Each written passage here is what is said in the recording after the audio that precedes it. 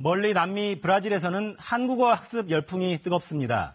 K-팝의 영향이기도 하지만 한국어 능력이 출중할수록 현지에 진출한 한국 기업에 취업하는 데 유리하기 때문입니다. 상파울루에서 이재환 특파원이 취재했습니다. 한국 전자업체 매장에서 소비자들의 고충을 상담하는 브라질 여직원. 브라질에서 열린 한국어 말하기 대회 우승자입니다. 한국 업체가 직접 소통이 가능한 인재를 필요로 해 발탁된 겁니다. 인터뷰 포로 했고 영어로도 했고 한국말도 했어요. 시험도 봤어요. 우유.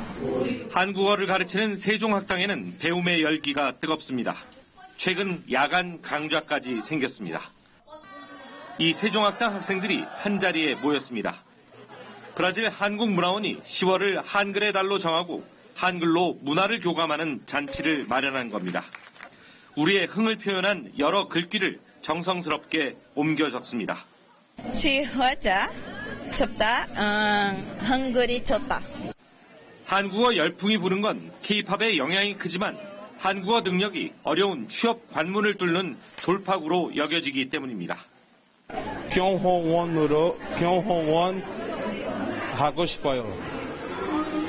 브라질의 세종학당이 시작된 건 2012년부터입니다. 모두 다섯 곳의 학당이 마련돼 해마다 2천여 명이 한국어를 배우고 있습니다. 한국 정부도 한국어 학습 수요를 반영해 해마다 장학생을 뽑아 한국 유학의 기회를 주고 있습니다.